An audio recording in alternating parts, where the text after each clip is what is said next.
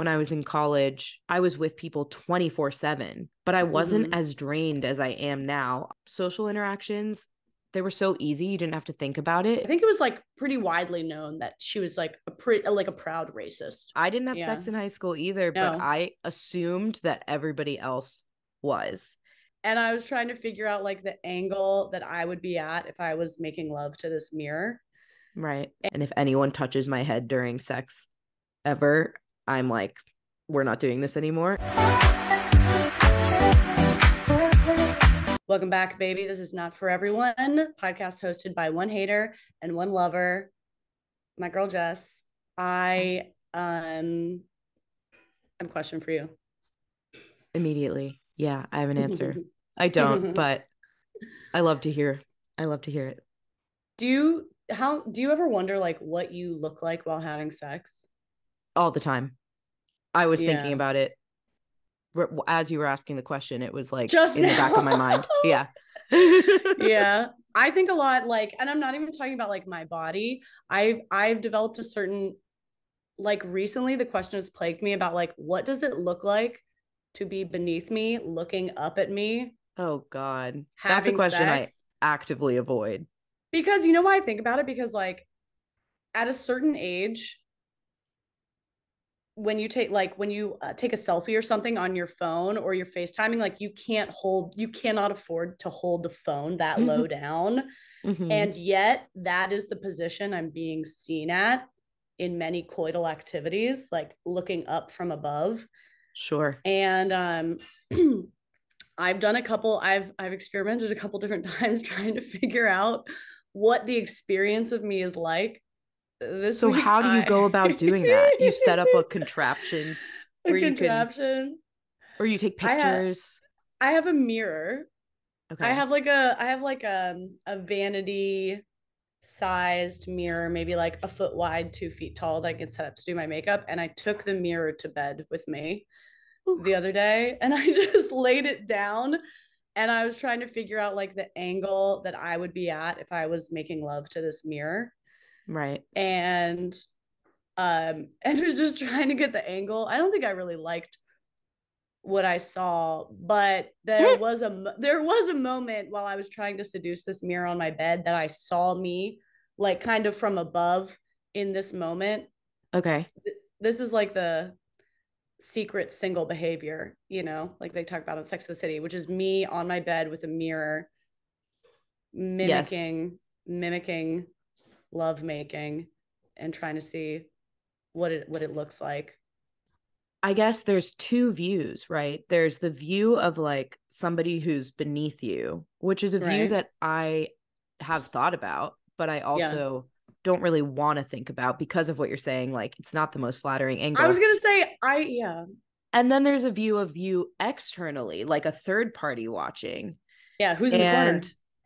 right, my little stuffed avocado Timothy is in the corner getting to see the show. And Is that what you call Ryan? My, my stuffed avocado, Timothy. yeah, he's watching he's watching me and the stuffed animal. Um and I feel like sometimes I do have thoughts of like from the outside, I bet I look great, you know, but Yeah. from underneath, From underneath, I don't know because there's not a lot of other times where I like that angle of my face. Like if I'm vlogging or taking a selfie or FaceTiming and I'm holding the phone too low, it is not a nice, it's not nice to me. Right. And then while having sex, I'm feeling hot, I'm feeling sexy. But then sometimes I remember like this is the the low selfie phone angle. It can't be that good. I I that's the the kiss of death is thinking of it while you're actually having sex because I'll think of it afterwards, Yeah. but during sex I try to remove my my brain is like not in the picture when I'm having sex because I think I that's have to. I, No, yeah, I don't know if it's always been that way, but like now at this age, having had enough sex and being in like a relationship where I feel comfortable, like I just am like I'm not thinking because Yeah. if I was thinking, those are the types of things I would be thinking about, and I would totally not be able to finish, perform, Yeah. enjoy myself. It wouldn't be good for me or the other I person. know. I d- all I also feel I've noticed this in podcasts a lot. I like am very hesitant to say like orgasm or coming. Like I can't Oh, I don't feel feels so weird. dirty. Kim, Kim, yes, dirty as hell. I can feel us both like tiptoeing around the words, Mhm. but I I don't know why there's like I feel very bold in person, but it feels it feels so so scary to say on a It is podcast. weird. It's it's funny. I well, I'm actually so curious if we could dig into that because I've noticed before, like a couple weeks ago, you were like, I realize that sometimes I'm alluding to sex, but it's not clear that I'm alluding to sex. Yeah. And so I need to like be more direct about it. I think you're a little bit more coy about it than me, but I still just have so my weird. discomfort, which is weird because in every other sense, I feel like our personalities are flipped in that way. Like Yeah. you're a little bit more bold and the you're foul mouthed Samantha, you know, and Right. I'm right. I'm Jess. So and I'm Um, Jess. And I'm Jess. then I'm Jess. Just Jess. Um so anyway, I I have I have thought that that's very interesting and another piece of that puzzle is like when I've done stand up, a lot of my material has been not about sex, but like there's innuendo laced into a lot of the jokes. I'll be talking about something else, but then do like a sexual innuendo joke um throughout my Yeah. set or whatever. And for me it's very it's actually very freeing to be in like a public forum talking about these things. So I guess I'm curious Yeah. like what your take or hang up or experience is, you know. There that being said, there's still words that like come and there's certain words that are like dirty talk words a little bit that I still feel weird saying, but Is I'll talk come about is it. come is come your word or do you use a different word? come is just top of mind because just a minute ago when we were talking, I decided to say actively in my head, chose the word finish instead of come. Finish. Yeah. I know. I know. Yeah. Finish the job. Um I yeah, it's a good question. It's funny. I, I do think about it a lot because I think on stage, I used to do stand-up sets pretty about uh I would talk explicitly about sex, but that feels similar to like the medium of YouTube, where it's a little more a performance, it's a little more a character. Like there Mm. is a difference between doing the podcast and YouTube. And they're they're both of them are me or like stand up as well. Like they're all versions of me, but I kind of think of it as like different friends bring different dynamics out of you. Like the podcast brings a different dynamic, YouTube brings a different dynamic. And YouTube is definitely a little bit more of a performance of me, which feels I actually keep it so PG on YouTube, Mhm. but there's a little distance. And um, same with stand up, it gets maybe more R rated, but there's still some distance. And it's like I'm delivering a performance to you. Whereas on the podcast, it feels very, the whole point is just to show up as a person. Um, and when I was younger, I was, when I was younger, like 12, 13, 14, 15, 16, maybe, I was really kind of sexually explicit and I like wanted to seem grown up. Um, I, in a way, like often hung with like kind of older people, or I could like get away with coming off as older. Um, and part of that at that age in my mind was like talking about sex in this explicit way, Mm. which actually was like super immature. And and I was like talking a big game. I wasn't doing Right. anything. I was so afraid. I was so afraid to do anything. I was like very afraid of sex, but I was talking this big game. I don't know what the deal was. Yeah, I just I guess it, it seemed cooler. And Mhm. then afterwards, years later, I definitely had like a big shift where I'm very private about that. I don't like to imply anything sexual or reference anything sexual unless it's with a person I'm being intimate with. Um, Right. and and then there's the podcast. So the podcast is new, and the podcast is this place where like I want to represent sex and sexuality in like a healthy way, not in a puritanical, like condemning, sinful, whatever. Yeah. I want to represent it well, like for younger women. And also, I've made this huge switch personally, probably over the last 10 years, to be way more private and protected. Like that's a a, a private thing that you can get access like one person can get access to with me. So i don't know. That's yeah. why i kind of like struggle with it. I think because i've taken it to an extreme when i was way way younger. Yeah that's that's so interesting.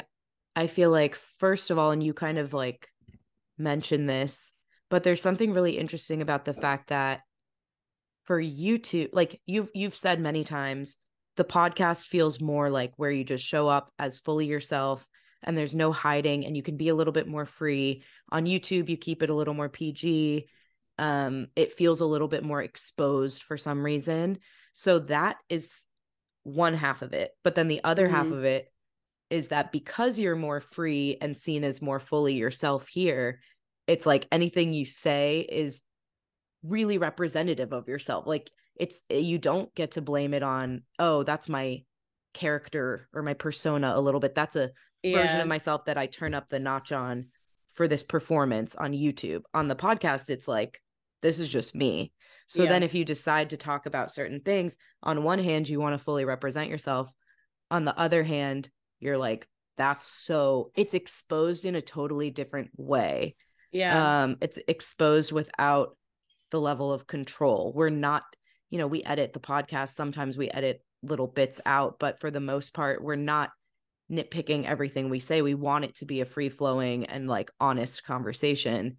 Mm-hmm. Um, so I get yeah, it's like an interesting nuance that dichotomy. Um, when you were younger, that piece also was really interesting to me because I feel like we were like we were friends at that time. I knew you at that time. Yeah. Our friend group and you definitely as part of that was very like we loved to make sex jokes. We knew nothing of what we were talking about but what i feel like our to do in high school? Yeah it's like you're talking the most talking the biggest game. Exactly. Um i learned like so many things about sex just from our friends' jokes, you know. Which like, is the worst place to learn things about sex because everyone there is pretending. Oh, totally. I feel like that's where it's like what you talked about with the 69, where it's like people who are hyping the 69 are like people who haven't had a 69 yet, Correct. or like maybe haven't had sex yet. And then yeah. you're like, oh, that must be the thing that's important. Yeah. Yeah. I was really um like, if you're saying I, that I'm the person who taught you about sex in high school, that is not good. That is not good news. Because I uh, you were probably one of them. School. You were probably I, one of them. I didn't have yeah. sex in high school either, no. but I assumed that everybody else was. And I don't even think I thought about it that much in high school. Um, I guess I didn't think about it that much, but sometimes it would come up. Like I'll yeah. never forget when this girl who we were friends with um came to school on like we were in like ninth or 10th grade and she reported to us at lunch that she had just given her boyfriend a blowjob and okay. i mean i still think of it to mm-hmm. to this day as like time stood still moment. Yeah. yeah this pivotal moment in my development where it was the first time that somebody in my friend group had had like shared that they'd done something yeah. sexual with a boy yeah she, she's on a different level now she's entered right. a different realm and I feel like when she said that, other people were like acting like they knew what about it too. That's like so funny. Maybe they'd also done it, or if they hadn't done it, they were keeping that close to the chest and trying to act like they know they know about this topic. Yeah. and i was just silent. I was like you know in shock taking stunned. notes just eyes right. wide the, those big brown eyes in the corner just like a hundred percent and like trying to be chill about it but also be like one day i'll need to know this like write this down for college. Probably won't happen in the next four years but maybe after that. And um i don't know. I just like i felt very inexperienced and very naive and was very much picking up cues about sex, about mm-hmm. how we talk about sex, etc. from other people, but it's it's funny to look back and be like nobody knew what they were talking about. I wasn't I, I felt know. like the the odd one out, I guess is my point. I don't oh, know if funny. you did. You weren't um I don't remember I don't really remember feeling like the odd one out. I don't remember that many of my feelings about it. I remember that I was like terrified of sex. I and especially for some reason terrified of like blowjobs. I yeah. um I had this boyfriend in high school and maybe it was junior junior year maybe senior year or maybe it was junior i don't know but it was it was some point where i was like okay i'm expected to do the low job deed at this point like i was Mhm. aware it was kind of expected and um but i was like so afraid and this was my brilliant plan to kind of get points but also not have to do it which was at some point he was over at my home and we were hanging out in the basement and my plan was while we are in the basement i was gonna like pretend like i was going for it and like you Okay. know get like undo the belt or like whatever i don't know like i got like a few steps down the line and just wait and like my family was home upstairs and i just like waited until there was like a single audible noise of someone moving a chair upstairs and then kind of went through this show of like oh well i Mm. maybe we should i guess maybe we shouldn't at the moment like oh there are people around but like i was definitely willing to like obviously you believe that i was willing to but we just won't right now because like there's people around Right, like, right. stopped for doing fucking anything at all and um that was my big that was my big brilliant plan Did it work? Did you actually do that? yeah that's exactly what i did Yeah. I And did you didn't do, ever didn't do anything i lost my virginity the day the after i graduated okay with him or somebody else? No somebody else Okay. um who So you never gave that guy a blowjob. no, I don't I don't remember that. I think I just like the it was just like a carrot dangling in front of him. It was for Mhm. him it was a carrot, for me it was a bomb. And and um no, I lost my virginity the day after graduation or maybe the day of graduation. in the back of this guy's car after which he laughed and said, "Haha, you still graduated a virgin." what the fuck? that, that was pretty terrible. He was a pretty mean guy. That is tough. Was, was mean. what? Ew. Yeah, okay. I don't. I don't I hate that. yeah, me too. I Um, hated it. I hated it too. But I also lost my virginity in a weird way, which is, I don't know, weird is the wrong word. I don't know what the word is for it. I didn't lose my virginity till I was, it was like my 21st birthday. And On the day, I- day of, day of. The I think it was technically like maybe five days later, but it was the day that I went out with friends to celebrate my birthday. And Kai and I have this whole crazy story of this night where we got drunk in Baltimore.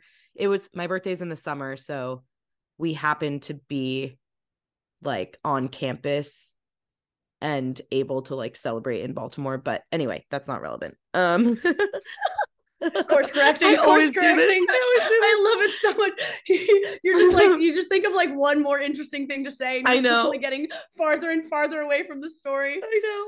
I love Um, that you've added the course correction. Now I'm never gonna stop you. I'm never gonna I- course correct. I, I'm just like, where's she gonna go? Where's she gonna end up with this? this is a story that like maybe one day Kai will come on and and help me tell or something because it Yeah. really is a wild night.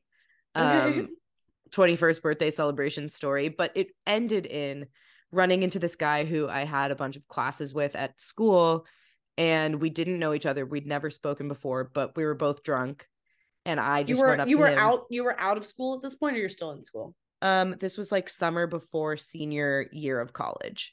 Okay. and yeah ran into him was like oh you're in a bunch of my classes and next thing you know according to kai i don't really remember this i was like sitting on his lap apparently and the next thing you know after that we like disappeared into the night and i went home with him and hooked up with him so like similarly i don't know it wasn't like some big uh you know i've been waiting so long to have sex with this boyfriend and now it's finally the time like those romanticized Oh. virginity stories from oh my god, I think I think that's like one percent of the losing your virginity stories. probably I think those are those are absolutely the exceptions. I think most of them are like humiliating or horrifying or just awkward and like kind of nothing. right for me it was like i just want to get this over with which is kind of a weird attitude to have about it but i was 21 I felt like Mm, I was so late to the game. And that wasn't, I don't know, that didn't really bother me that much. But at the same time, it started to become something that, like, when I interacted with guys or was into somebody or whatever, it was like an insecurity that I had. Like, I've still not had sex yet. And Yeah. so I think like ripping the band-aid in a situation where it wasn't somebody that I was like interested in dating, it wasn't somebody I had any sort of history with. I was just able to like do it and be like, okay, I'm not a virgin anymore. For some reason at that period in my Yeah. life, like that was what I needed. So I don't regret yeah. it, it, but it was weird. It was awkward. It was like not, I don't know, not anything to write home about, but I guess that's what it always is.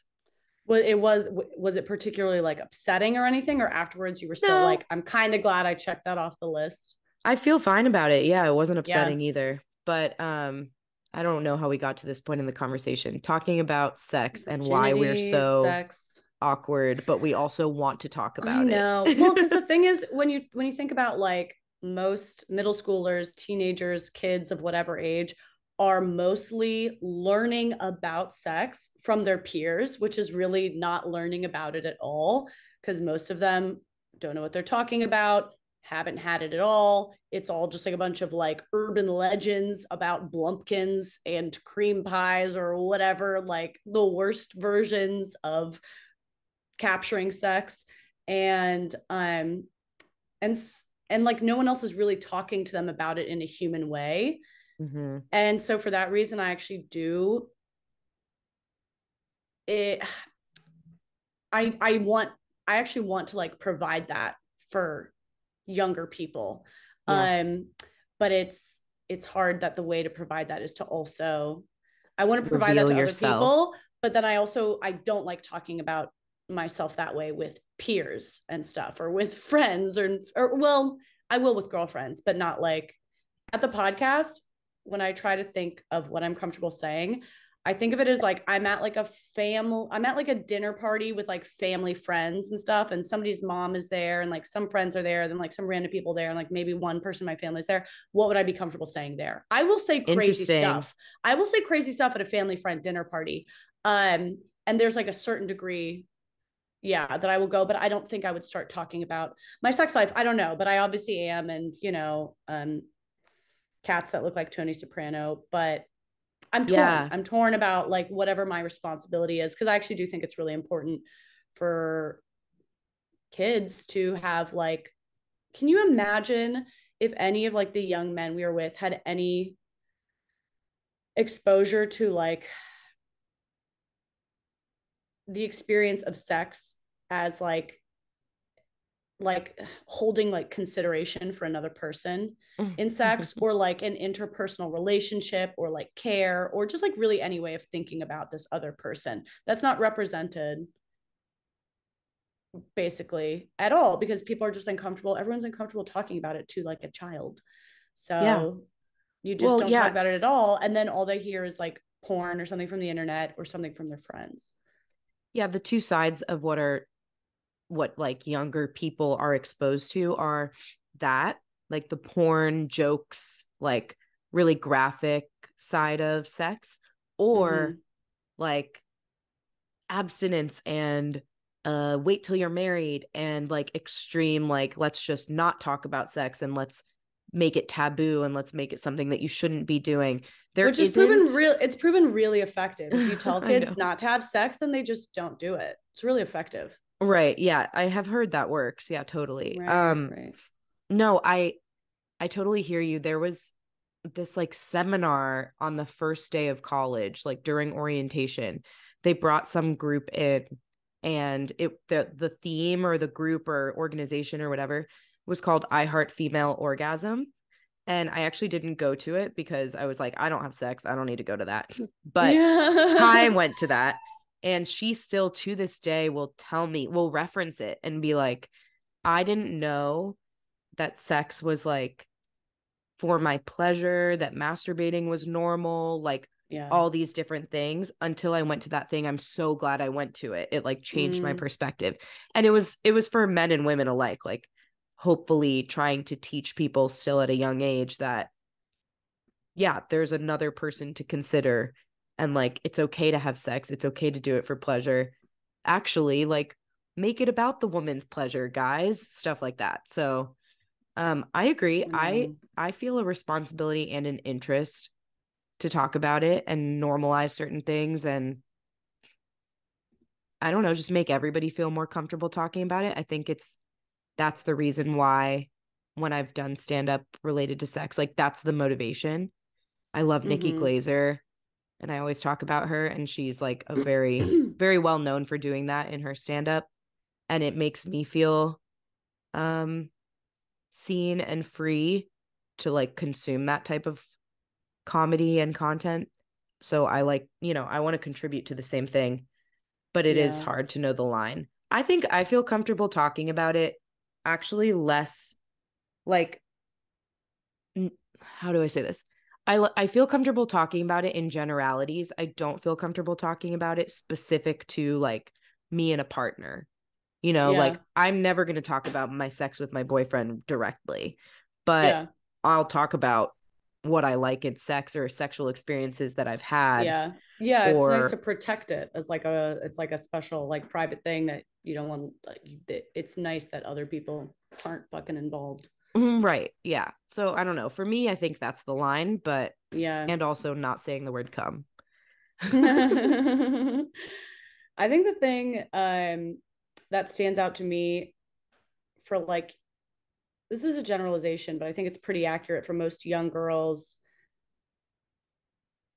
And maybe the way it's present represented to young guys too um the way sex is talked about is mostly just about like satisfying the guy. If we're talking about heterosexual sex which is the kind i'm familiar with. Yeah. um yeah the idea like you said with like the seminar that kai went to or whatever i i think i would have benefited from that as well just the idea that like there was something to be enjoyed as opposed to like this performance or you know even when you see articles about like you know people beyond teenagehood are consuming this stuff about like you know moves to please him and this and that it's just so much focus on this performance for someone else. And um there's so much like anxiety around that and pressure around that and that's the way you're going to keep somebody or that's the way you're going to interest somebody.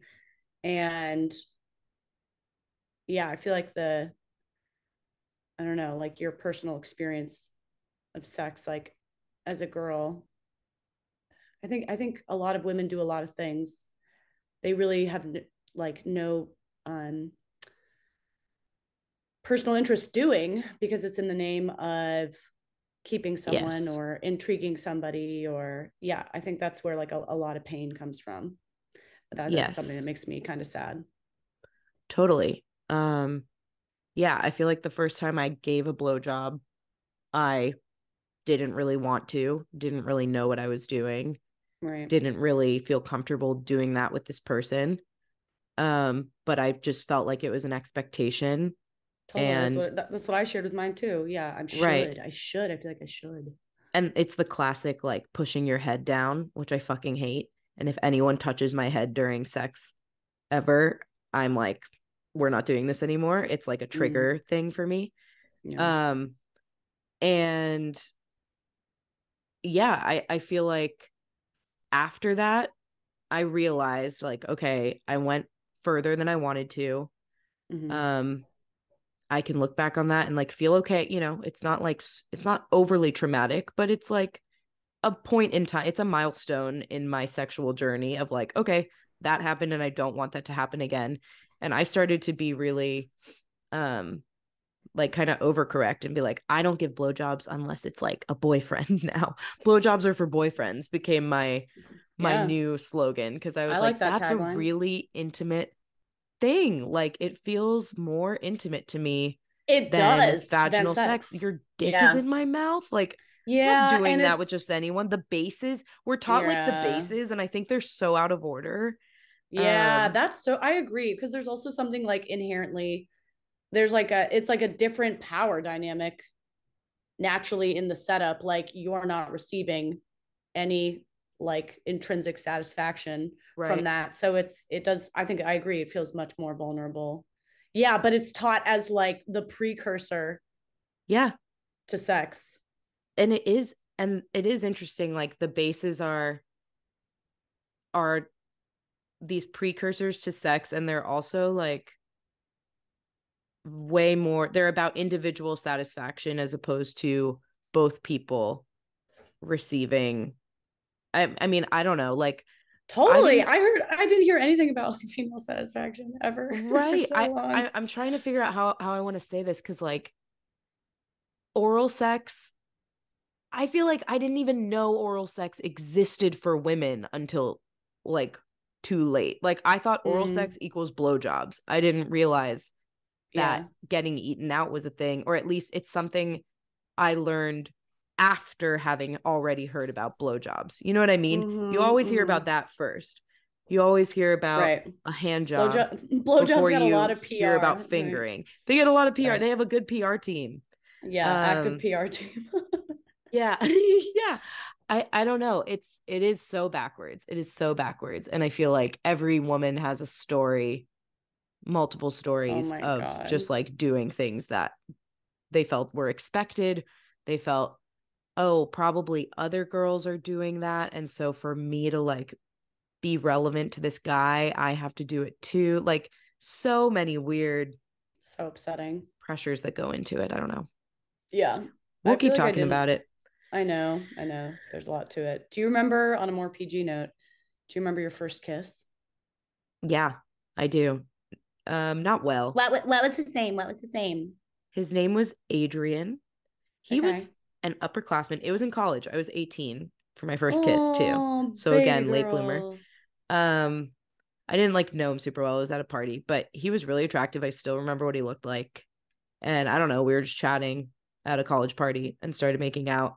Yeah. And I I feel good about it. I don't know. And that's where it ended. And then my friends were like, "Okay, we're leaving now." And I was like, "Cool, got got what I came for. I'm no longer a kiss virgin." gotcha, like- baby. Virgin. Oh, like never been kissed. yeah. That's yeah, so I don't know, not an amazing story, but I feel I feel confident in this dude. Um, how about yours?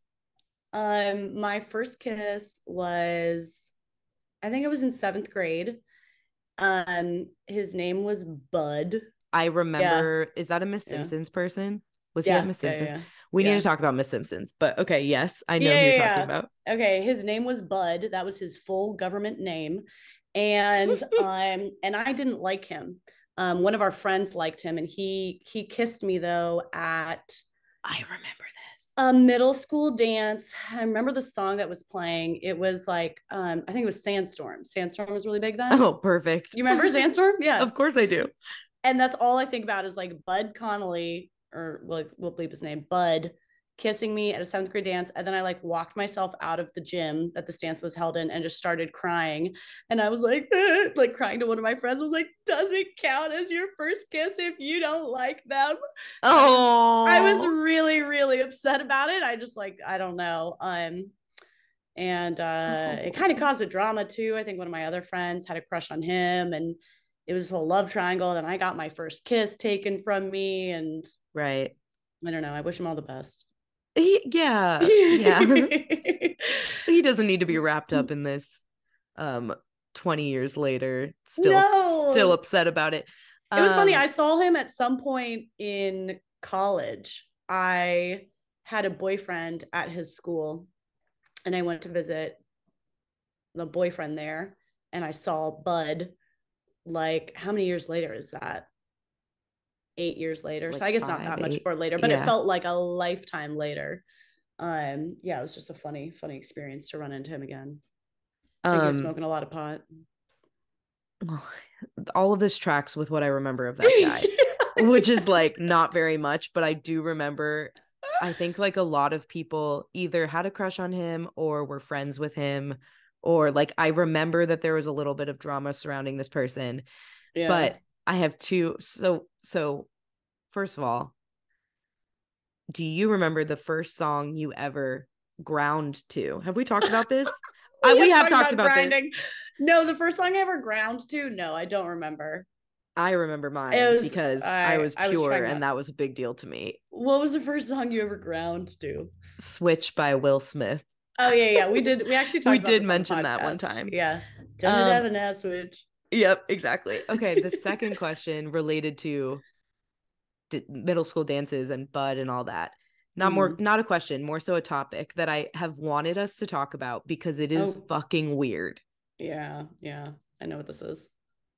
There was this thing that I guess was like leftover from debutante days. Like it was it was a debutante type of program in our town. It was a cotillion. Cotillion, that's the word. Okay. I think it's called a cotillion, right? Yeah, no, that seems right. It was called Miss Simpsons. Everybody did it. It was like the thing that you did come middle school. You signed up Mhm. for Miss Simpsons. You would go every Friday night to Was this it like every Friday? Was it every like Friday? that. Maybe Oh every other, God. but it was frequent. Oh my god. This ballroom, and it would be like girls and guys in the same grade from schools in the area, and you would Informal learn like wear. Manners. Yeah, you had to dress up. You would we- learn like there was a dinner and a dance, and you would learn like, you know, plating at the dinner and like sitting down and being polite and like having a nice dinner with people. And then you would like Oh dance and you'd have to ballroom dance, and they'd teach you some of those Things. we learned a foxtrot and a waltz and i remember there was a receiving line you had to go through this line remember the receiving line of adults Yes. like whatever parents wanted to come and like torture their children at miss simpsons would come and join this receiving line and all the kids had to go through and like shake each of their hands and say nice to meet you or some i don't know some weird performative manner thing yes, which was common in our Uh-huh. upbringing too. Um, but it was also it was also a, a, a place of tremendous middle school horniness because there were so Yeah. many unisex schools where we grew up there are a lot of boys schools and girls schools and this was the place in middle school this was the place we met boys that was it Yeah. Yeah, that's a key point. Um so I didn't sign up for it when everybody else did because I didn't really know about it. My parents you didn't know about it. Yeah I yeah, like i don't know. It's a very white American type of thing and I think my parents it just like wasn't on their radar. Yeah, they were like, why would we do this? Why like, would we "What the send our child back 20, 20 Yeah. fucking years, 40 years? Yeah. But I got a little bit like I felt a little bit left out that everybody else would go to that on Fridays and I wasn't part of it. So Okay. I finally signed up like maybe everybody had been doing it for a year and then I signed up the next year. And the first panic attack, Caroline Winkler, that I've ever had in my life was at Miss Simpson's in the seventh grade. Can I guess what what was happening?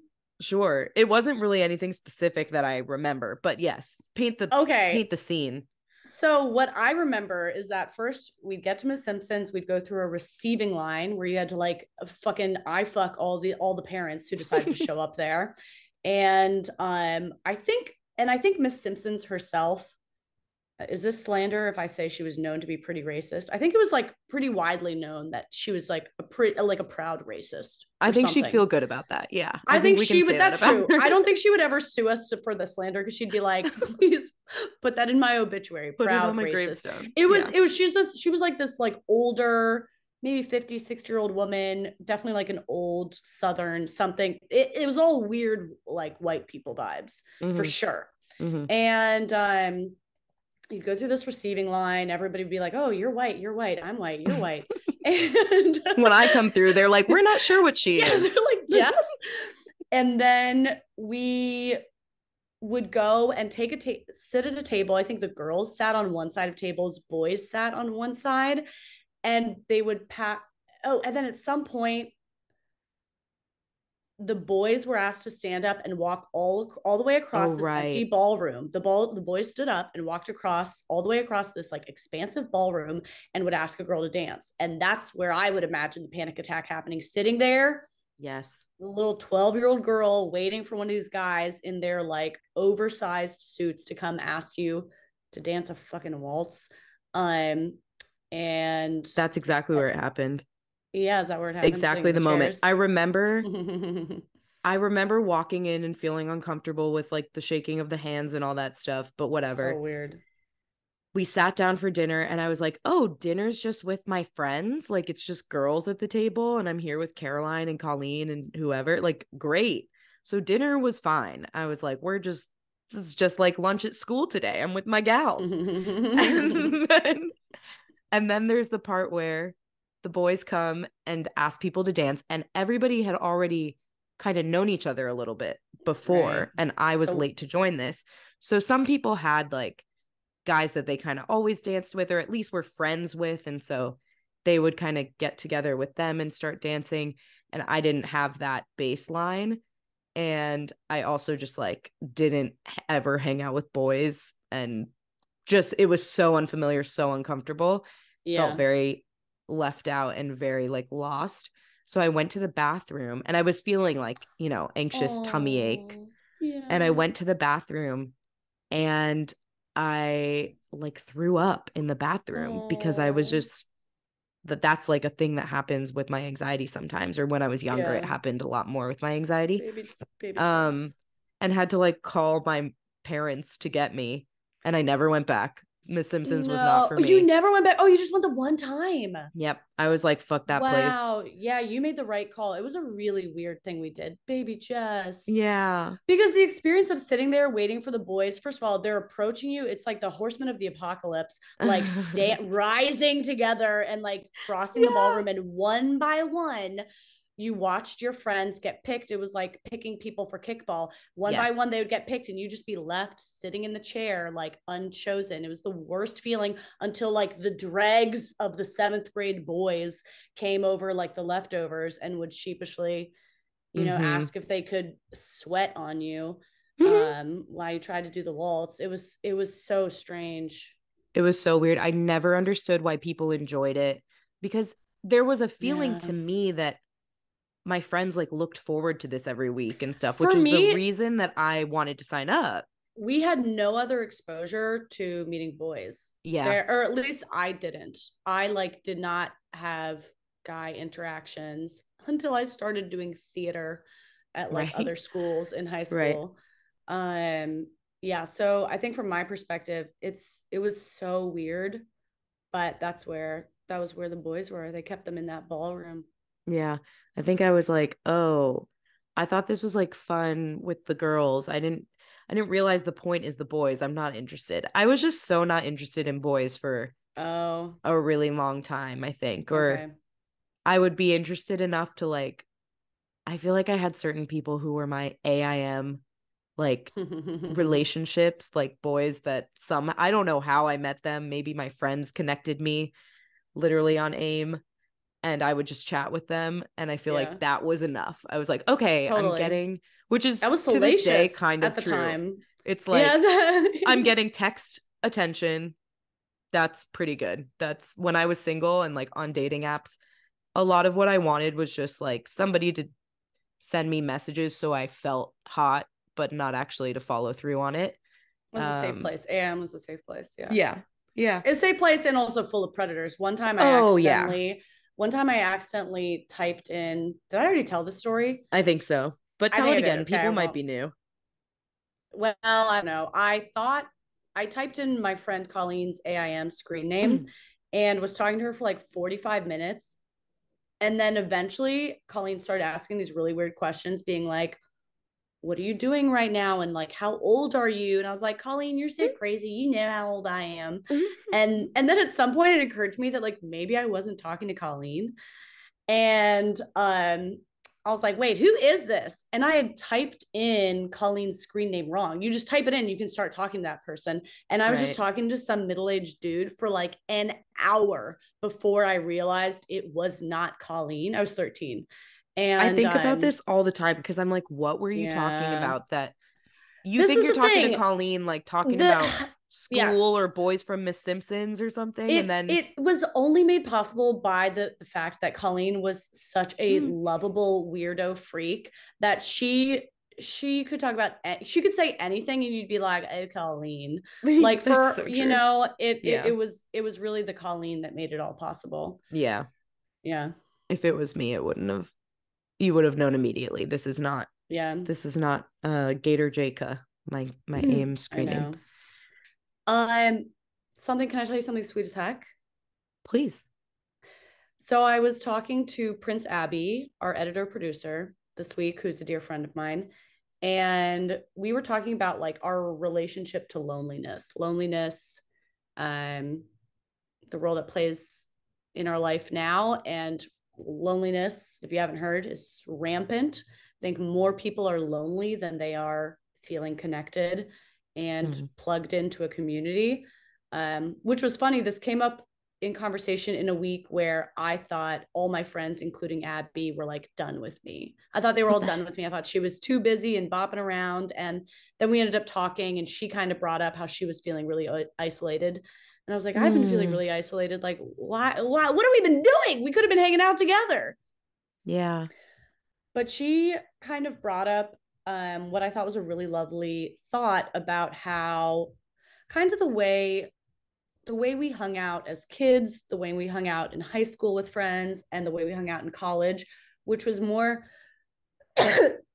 just occupying space together. It was a, a much more integrated way of like you, your friend would come over into your dorm while you're doing homework or you're doing laundry, Yeah. or it wasn't this like pause everything I'm doing and have this hermetically sealed friend date where we go out and eat a meal together, where we go out and get drinks together. I like doing those things, but I also get really sick of just like staring at people over a plate of food or Mhm. having to pause everything I'm doing in order to go and have this like quartered off time to engage in a social excuse me a social interaction. Um and Abi lives you know relatively close to my neighborhood.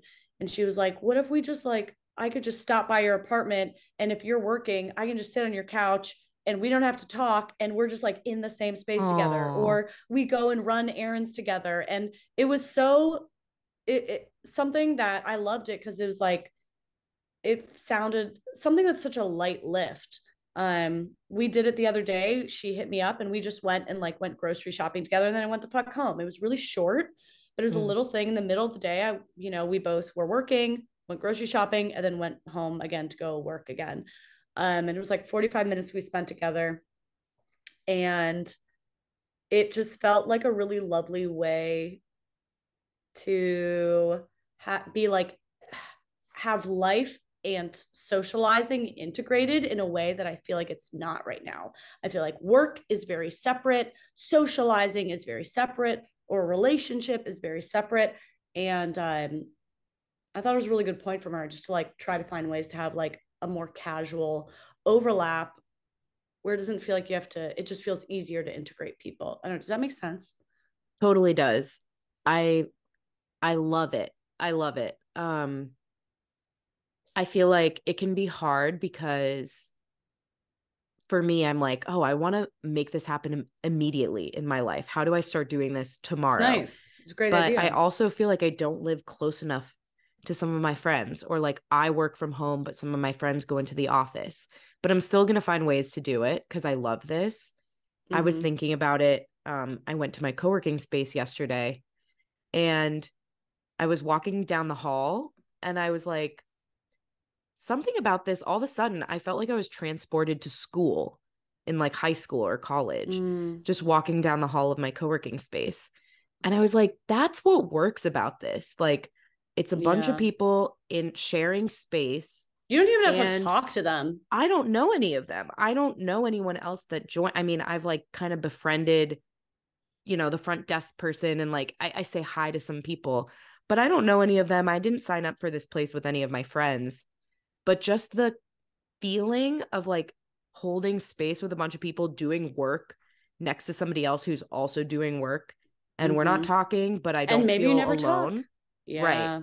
It's a big it's deal. like it helps my mental health so much and makes me feel more productive and like more able to focus um so then imagine yeah i love the idea of doing that with a friend just like oh yeah you're walking y- you feel like getting out of the house today come sit in my apartment and we can co-work or the Yeah. grocery store thing is great. I mean like just little moments it doesn't have to be so built up because it is come over yeah quite you come over and work while i'm doing laundry or something. I think something that right. stresses me out a lot is feeling like i have to drop everything in the middle of the day to go do like a three hour hangout or like it has to be this big thing because i'm so sometimes when you get in that mode where you're so deprived of people you're like well if i'm gonna do people it's got to be a three hour A chunk of time where blah blah blah and um it's like a lot of pressure in a way and it's not it's not how we hung out um when you're living with people you're sharing a space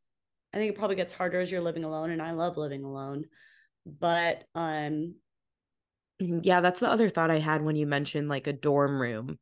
Um yeah. because totally like when I was in college, I was with people 24/7, but I wasn't Mhm. as drained as I am now. Obviously, I was younger and had less things to worry about, but at the same time, I think some of it is that social interactions they were so easy, you didn't have to think about it. It was just like when I go to my dorm, there's going to be Oh, people yeah. there. Oh When yeah, I you didn't have to go to to the work at it at library, there's going to be people there. Yeah, in the common room, there's going to be people there. And it was just like built into everything. Total, yeah. And I felt less drained. Like I was so much more of an extrovert then than I am now because it was like right there for me. I didn't have to like put in the work to fulfill the social need. Yeah.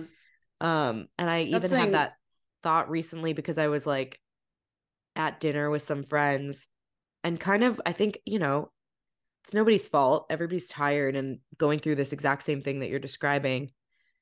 But it felt like, do we have stuff to talk about right now? Like it just felt kind of like forced Yeah. and hard to have this You know dinner. why? Because the the thing I got so tired of with like that when my social time at a certain point over the last year or two, all of my social action social interactions were just like staring at people over a plate of food or over a drink. The, you run out of things to talk about because there's no other place your life is overlapping. You're not sharing a common environment. You're not going and like having experiences together. You're just like looking at each other Mhm. um, and in a way, I feel like it's something that guys, the average guy's generalization maybe does better because they they they're so much more focused on doing things. And the average girl is so much more focused on like talking about stuff, but there's really not that much to talk about. Like just the catch up, what's been going on in your life and what's new with you. That's pretty draining if that is a hundred percent of your social interactions. I found that incredibly draining, incredibly unrewarding if that is the nature of a hundred percent of my social life. Um, like recently justin and i have been going together we went to like a couple different just like literary readings Oh yeah. um i went to one with Abi prince Abi and um i don't know i'm not like i'm i'm nearly illiterate but it was really lovely to go and just like do something experience something together have something to comment on um Yeah. that is so it just gives you I don't know, a share the shared environment, the shared experience to reference um Yeah. is, is a big deal. And if you're yeah, when it's always like this, like scheduled, we're gonna have a dinner at this time and that's how we're gonna be friends, it gets so depleting. Well, I was even having this thought of like, these are some of my best friends who I've known for a really long time. How are we like, is this the point? Is 10 years, 15 years the point when like we run out of things to say? But I kind of thought about it and was like, well, so much of our friendship, the first half of our friendship was doing what you're describing, was like sitting next to each other in the library, not really talking about stuff, just like holding space together or going to a cappella practice. That's like a shared experience that we had stuff that we were working on together and then we had that Yeah. to talk about outside of practices. I don't know. I was just kind of like, oh, there's just like our lives are less integrated Yeah. and we And I don't think- hold space with each other, even just silent space. And so it puts a lot more pressure on the let's all get dinner this weekend. And sometimes there isn't that much to say because it hasn't nothing's really changed in your life since two weeks ago when you last mm-hmm. saw each other. I don't know. It it was it wasn't making me start to question my friendships because I like I know that these people are so important to me and it doesn't change, but it was making me a little bit like, is something wrong with me? I That I, don't have anything to contribute here. And this is helping me realize why. it can make you question yourself or question the dynamic, but I really think it's like I got so sick of just like looking at people over food. Don't fucking make me eat another meal with you. Uh, we have to go fucking do something. Yeah. Um, I don't know. I think it's really hard. I think it continues. I think it just I I think it just uh gets exacerbated as you get older and people move away or they start families or get married or whatever everyone just gets like more um entrenched in their own lives as they should but it's like harder and harder to have like common ground with the people who used to be your friends and then you know you start becoming friends with the people you do have common ground with like the other parents in your kids class um mm. you know you naturally like it's it's significant to be able to just like reference the teacher you both hate or you know yeah. the classroom drama you're both in on or just like have a common reference point instead of constantly just doing a catch up yeah i don't know. So I, I like the idea of trying to find um, low lift right. ways to be more integrated in a daily way. I don't know. I'm working on it. It was nice though. That's really nice. It makes me it opens up a can of worms that lives in me a little bit. Ooh, she's worming she's worming today. Um i definitely have a fear of getting older and losing connection and like yeah. losing closeness with my friends. I think it's it's natural, it happens um for all the reasons that you've listed. Mm-hmm. But something that specifically I think about as I like make decisions for my future is the fact that I likely don't want to have kids and a lot of people in my life do want to have kids. Mm-hmm. And what will that look like? You know, today it's easy to say that because most of my friends don't have kids right now. Um, but once they do, if I don't, my life will look very different than theirs. And, you know, that's a lot of the reason that I that I think I don't want kids because I do want my life to look different in that way. I do want like a little bit more independence and just like I don't I don't really want the life that they would have. Mm-hmm. But what it would mean but you want to have the friendships. Yeah, what it would mean is that we have less in common, we have less yeah. stuff to do together. Um I mean, I think the biggest, I, and in addition to having a little bit less in common, obviously you can still relate to a human on a bunch of different levels. Um, but it's just like having kids is so logistically and schedule demanding that yeah. to a certain degree, it's only possible to socialize with other people around kid related things. Yeah. So much of your life, that's why it happens. It's it's for like logistical reasons. Totally yeah it's just something that i'm like becoming more and more aware of yeah um as i get older some of my friends are starting to like talk about having kids soon and um i'm pretty committed to like i'm still going to show up for these friends and they're the type of people that have shown up for me but when you know exactly what you're saying it's like it, it's not even up to them it wouldn't even be up to us that that natural progression could mm-hmm. happen because it's just logistically like a very different life. So I don't know. I wanted to acknowledge that we got a DM mm-hmm. about it. Um, mm. somebody asked a couple weeks ago, like, do you have suggestions for how to make friends in your 30s and 40s when you don't have kids? Um, really. I don't have those suggestions, but I will you know let me know if you do let me like I'll, it's something i'm thinking about it's something that will become more and more relevant potentially for me um yeah. and I, I just i guess i just wanted to acknowledge that that's another hard aspect of it when and it's not only with kids it's like anything that makes your life look a lot different than different. somebody else's yeah. Some people travel for work some people live in a suburb versus a city like all these lifestyle differences that just yeah change how we connect so yeah i don't know i'm uh in my feels a little bit about that but yeah. I'll figure it out. I know. Um, I feel like I'm in this kind of in between stage right now where I have really good friends and I feel really good about my social world. And I feel like it could all disappear very quickly because mm. everyone I know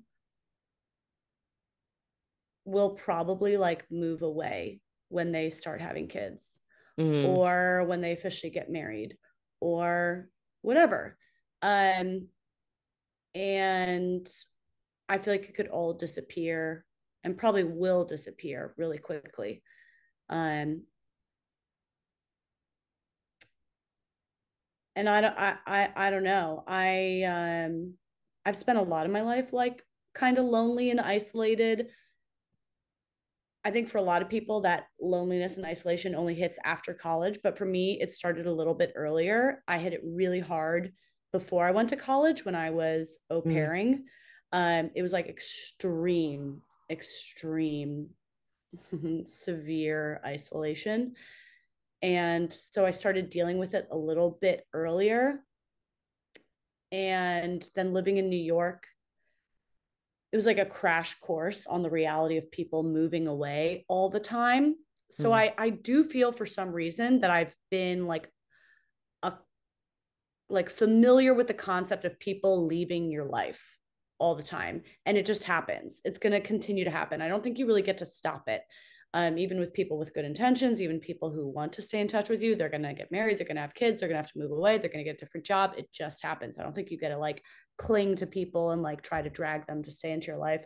So I think it's something that um, it's really difficult to kind of problem solve, and we're all going to have to do it, and we're going to have to do it a ton, multiple times throughout life. Um, and one will be when people start having kids and stuff. Yeah. I don't, re- I don't really know exactly what the solution is, but I think to just name that if you're going through a period of like feeling isolated because your life stage isn't matching up with your friends, um, it's pretty normal and it, it'll probably happen a bunch of different times and it's pretty uncomfortable. Um, And you Yeah. might be surprised that they're feeling the same way, like from the other side of the coin. You know, they might have a different setup than you. It might not Yeah. be for the same reasons, but they might be feeling the same. Like I love that you and Abi had that realization of I like know, you've been feeling so this way funny. too. Yeah, Yeah, I really was like, oh, she's got to be busy or something. right. But she weren't. We all assume everybody's hanging out without us. That's Mindy I Kaling's book title. Everybody's Um, hanging out without me. You want to lighten I have an update that I Oh. think is really relevant it up? Okay. for not for everyone. Okay. So we've talked a little bit about Caillou, the the bald baby TV show that Cartoon.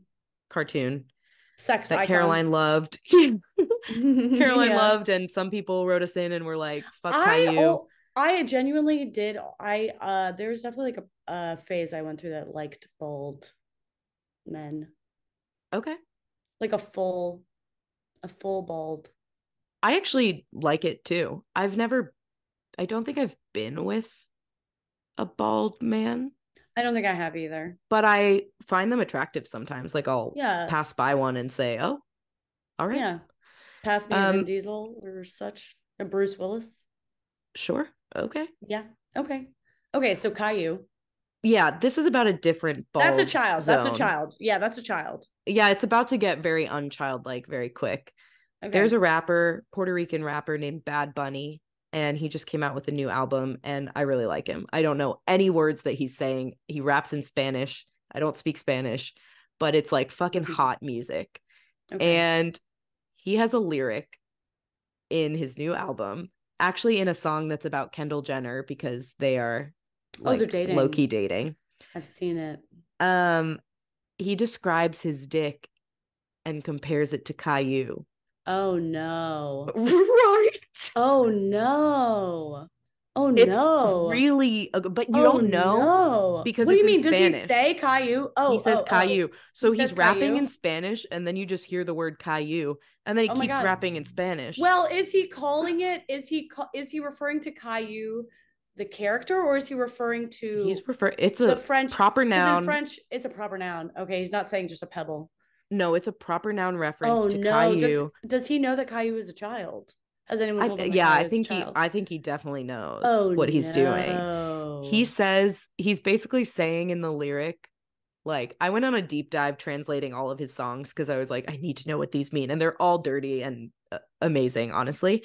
But this one lyric is about like prepping for sex earlier in the day. Like he knows he's gonna see her, so he's getting ready, and he like trims up the area, and it's bald like Caillou is like basically what the lyric is, and I was like, oh, There's so many other things that you could be bald like, other than Right. a child, other than Let's a give young some- child. give the man some suggestions Bald like a cucumber. for his rewrite. Bald, bald like a pebble. Bald like a kneecap. I think I think all of these are equally sexy as a child cartoon. Bald A like a cucumber, that would be fine. A kneecap cartoon?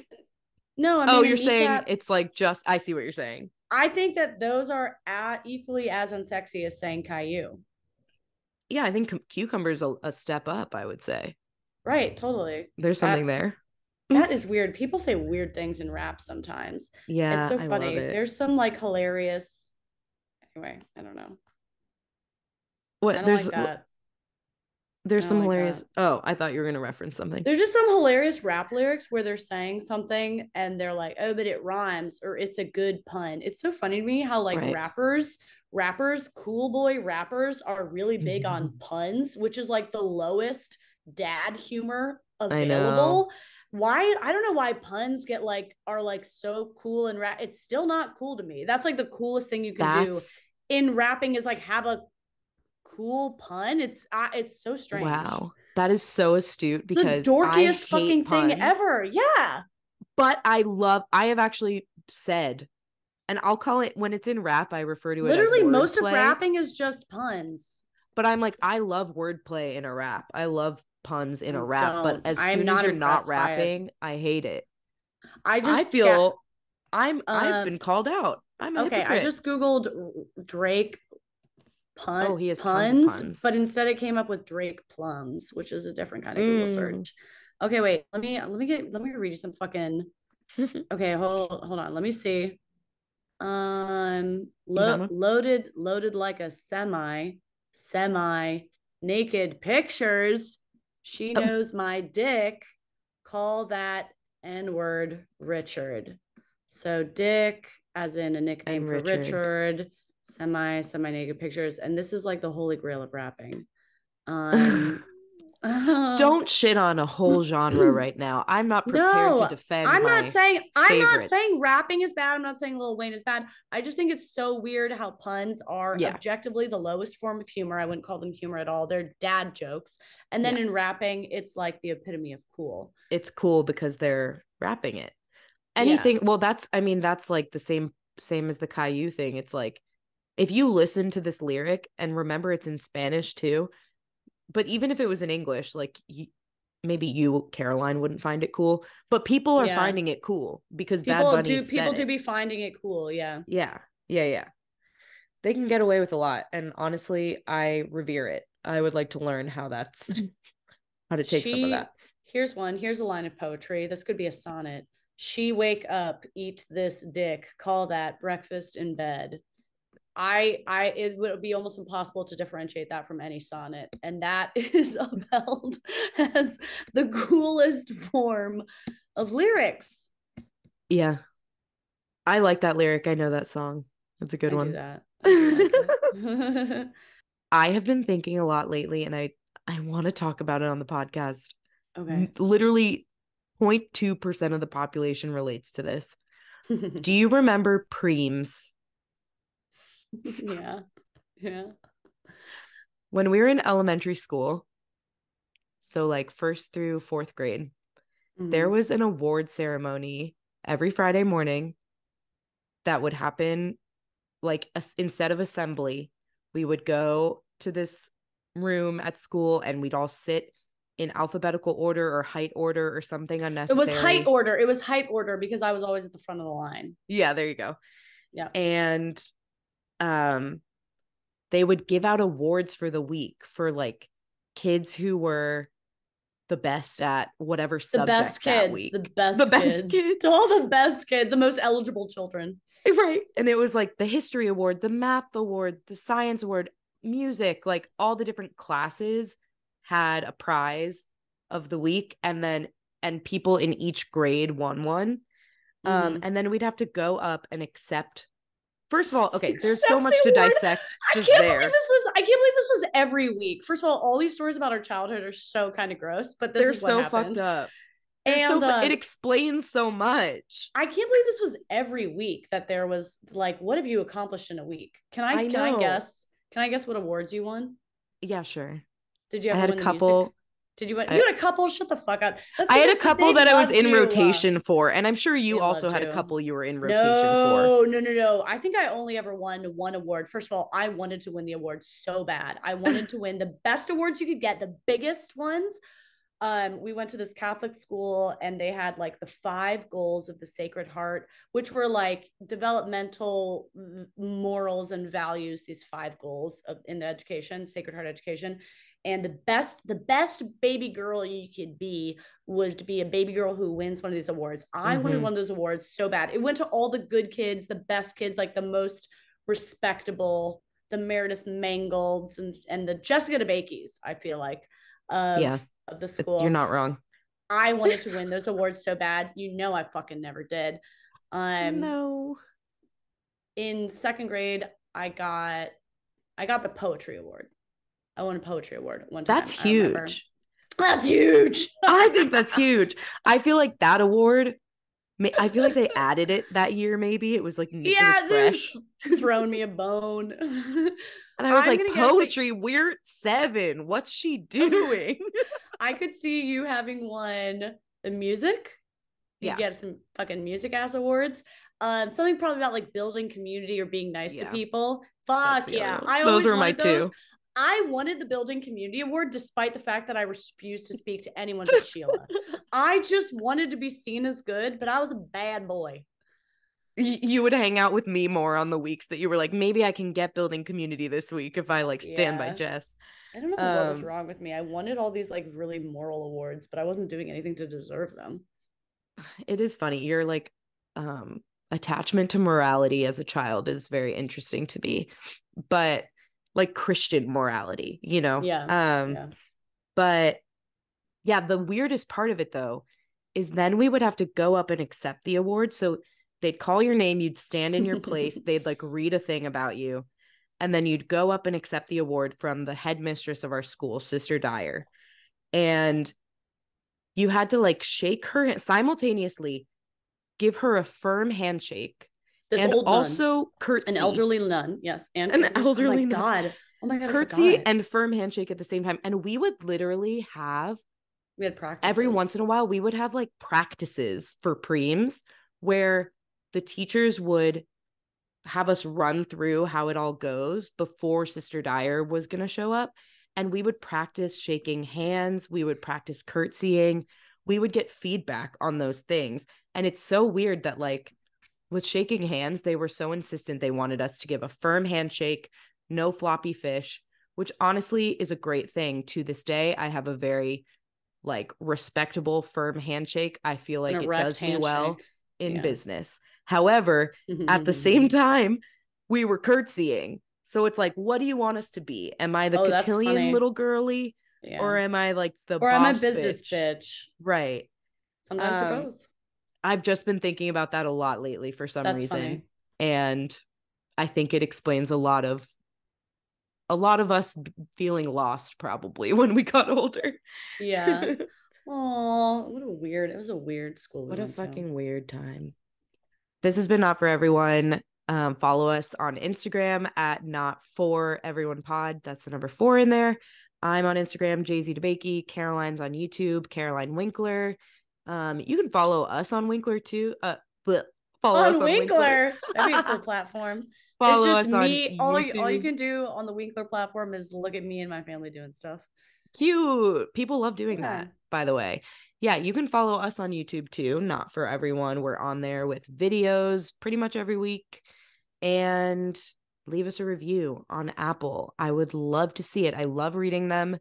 They make my day 95% uh-huh. of the time.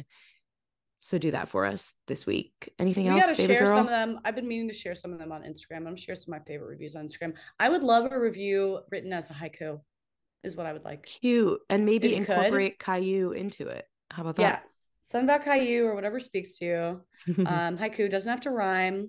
Um, i am going to share some of my most artistic favorite reviews, I think, on our Instagram because there's some people be cooking out. Yeah. Straight from the poetry prize, second grade winner. She's going to rank the haikus. All right. Love ya. Thanks, guys. Bye. Okay. We're done. I think we are it. fucking done. And we're so done. I think we're done, Stop dog. this.